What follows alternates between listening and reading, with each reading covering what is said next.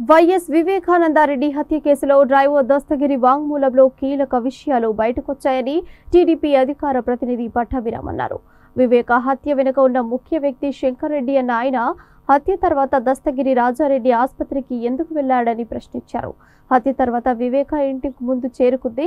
శంకర్ రెడ్డి అవినాష్ రెడ్డి లేనని వైఎస్ కుటుంబానికి అవినాష్ రెడ్డి అత్యంత సన్నిహితుడని అన్నారు. వివేక హత్యకు సంబంధించిన ఆధారాలను తుడిచిపెట్టింది సీఎం జగన్ సన్నిహితులేనని పట్టాభి విమర్శించారు.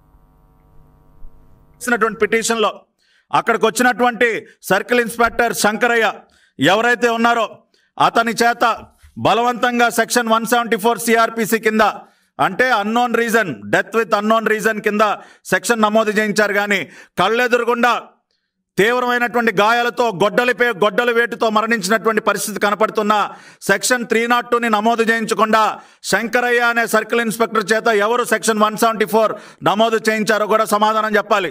ఎందుకు శంకరయ్య నా తర్వాత గట్టిగా విచారించలేకపోయారో కూడా సమాధానం చెప్పాలి. అంతేకాకుండా మీరు దీనిలో చూసినట్లయితే డాక్టర్ సునీత గారు ప్రధానంగా ఆవిడ ప్రస్తావించినటువంటి అంశాలు మనం పరిశీలించినట్లయితే స్వయంగా తన సోదరుడైనటువంటి వైఎస్ జగన్మోహన్ రెడ్డి ఆ రోజున మరి వివేకానంద రెడ్డి గారు హత్య జరిగిన తర్వాత స్వయంగా ఆయన గవర్నర్ దగ్గరికి వెళ్ళి YS Jaganmohan Reddy on the next day of the incident along with several of his party leaders met his excellency the governor of andhra pradesh and submitted a representation seeking cbi probe. Jaganmohan Reddy హత్య జరిగినటువంటి మరుసటి రోజే రాష్ట్ర governor దగ్గరికి వెళ్ళి CBI enquiry కావాలని demand చేసినటువంటి అంశాన్ని ఈ పిటిషన్లో ప్రస్తావించడం జరిగింది.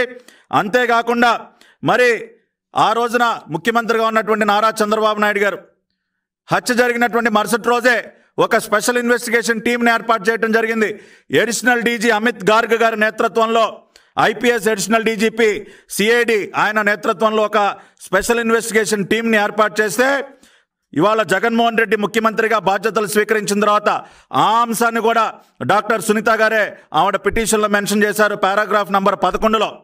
It is respectfully submitted that within fourteen days from taking of oath as chief minister YS Jaganmohan Reddy had instructed Shri Gautam Sawang As Director General of Police, the government of Andhra Pradesh, by order dated 13 6 2019, had reconstituted the SET.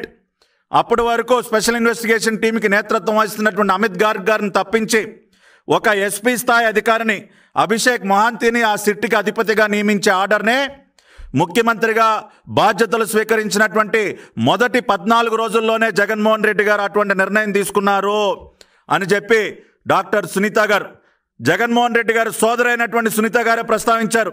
ఏం అవసరం వచ్చిందండి?